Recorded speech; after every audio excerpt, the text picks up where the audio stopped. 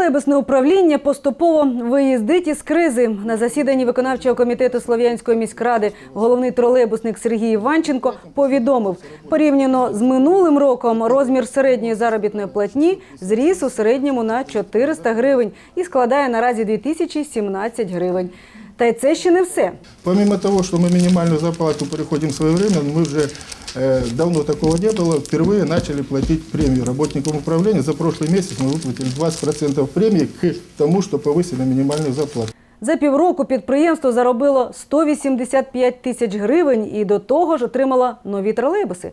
Тепер на маршрутах працюють 10 машин. Водіїв навчають у Донецьку. До підприємства потяглися бажаючи працювати. За словами Сергія Іванченка, на окремі спеціальності претендують одразу по декілька людей.